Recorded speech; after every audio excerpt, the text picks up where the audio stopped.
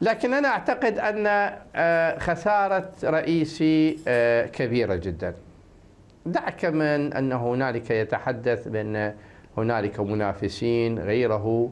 رئيسي كان مؤهلا تماما ويتم إعداده لأن يكون هو المرشد الأعلى بتنقلاته من العتبة من إدارة العتبة الرضوية وهو منصب ليس بالصح أنه له رمزية دينية لكن أنه تفقه السياسي في الجمهورية الإسلامية مهم جدا وتم تسليمه ملف أهم داخل القيادة الإيرانية وداخل الدولة الإيرانية وهو مؤسسة القضاء السلطة القضائية. وهذه مهمة لا يمكن دكتور أن يعتبرها حدث عابر إلا أن كان هنالك تهيئة.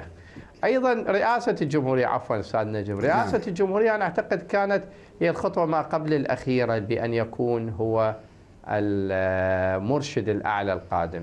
شخص بهذه المؤهلات وبهذه التنقلات وبهذه المناصب وابن الثورة ليس من السهولة تعويضه حقيقة. يحتاج طيب. وقت حتى يتم أن يكون اختيارات السيد المرشد. لا نعرف أنه تكون اختلاف بالدرجة بالدقة.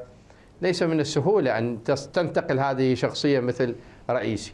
طيب سيد أمير موسوي مثلما كنت تقول والسيد أيضا العنبر والأخبار أيضا تقول أنه رئيسي كان من المؤمل أن يكون خليفة للمرشد الأعلى.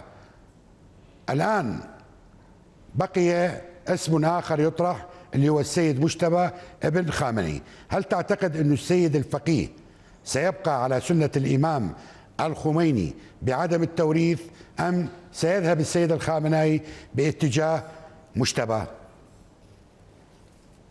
لا لا أعتقد ذلك لأنه الآن السيد مجتبى حتى لا لا يسمح له أن يستلم أقل مسؤولية تنفيذية أو سياسية في البلاد.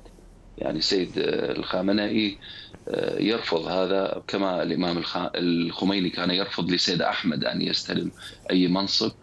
الآن الإمام الخامنئي كذلك نرى يرفض وهناك مقترحات كثيرة وإصرار من قيادات في إيران لأن يتبوأ منصب مهم في البلاد باعتباره رجل فاضل وذا خبرة كبيرة ذو خبرة عالية جدا ورجل متواضع ومحترم يعني محبوب عند الناس كذلك.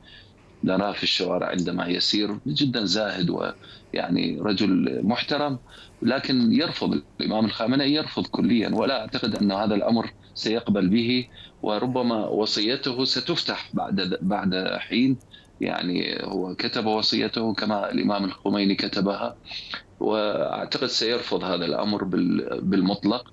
يعني خلال مسيرته السياسية وفي الحكم الآن نرى أن السيد مجتبى ليس له أي دور باستثناء أن يرافق والده في قضاياه الخاصة طيب. وليس الحكومية.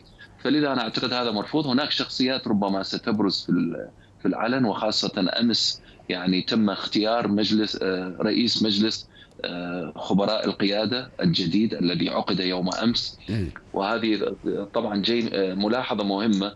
نرى الأمور تسير ضمن ال ال ال يعني المحددات الزمنية الدستورية. آية الله كرماني موحدي كرماني انتخب بعنوان رئيس مجلس آه، خبراء القيادة الذي يعين القائد بعد غياب المرشد الأعلى. فهذه طبعا نقطة مهمة وأنا أعتقد هذا من الجيل الجديد الجيل الجديد غير الجيل القديم المتعارف. لكن نرى مجلس قيادة خبراء القيادة فيه شخصيات شابة هذه المرة.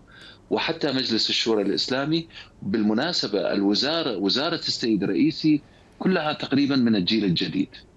بما في ذلك أمير عبد اللهيان ووزراءه شباب يعني صغار بالسن. ربما بعضهم لم يحضر يعني في أيام انتصار الثورة الإسلامية كانوا أطفال يعني. وزراءه أغلبهم شباب والمسؤولين حتى السفراء والمسؤولين في المؤسسات والهيئات المهمة. نرى الشباب أستاذ أمير